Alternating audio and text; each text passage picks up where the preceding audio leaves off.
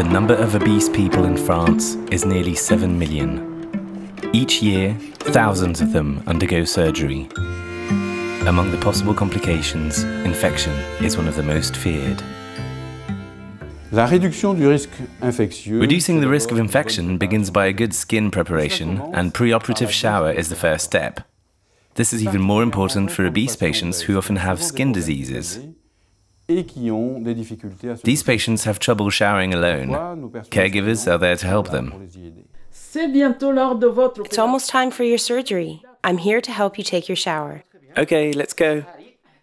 For an efficient shower, we must clean all areas at risk, including wrinkles. Patients and caregivers should understand that a preoperative shower is a care in its own right. Helping a patient to take a shower is to take care of him. I'll let you do the shampoo and wash your face, and I'll help you with the rest.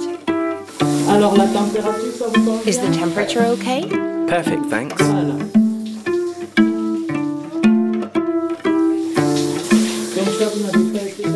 What a storm tonight. Were you woken up? I was. I didn't sleep very well, but I'm okay. Are you dry? Come on, now it's time to put on your evening attire. Proposer une aide à la douche. Giving assistance in the shower asking for help can be difficult for caregivers and patients. It raises notions of intimacy. It's hard to admit one's limitations. We need to establish trust in the relationship to break down these barriers. Everything depends on communication and dialogue. When you are obese, a preoperative shower is a difficult moment to live through. I know, I've been through it.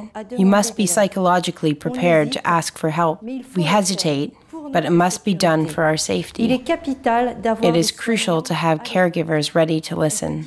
We can discuss it with them, and it is actually very reassuring. To play a role in our healthcare, it's also necessary to ask for help when needed. I have a patient for you. There you go, sir. Good luck.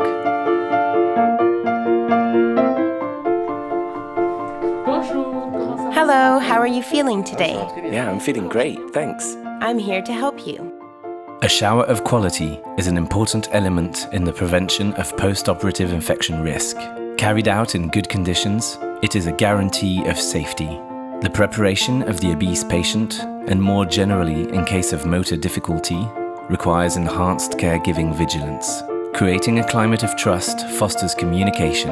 It is a key step to success.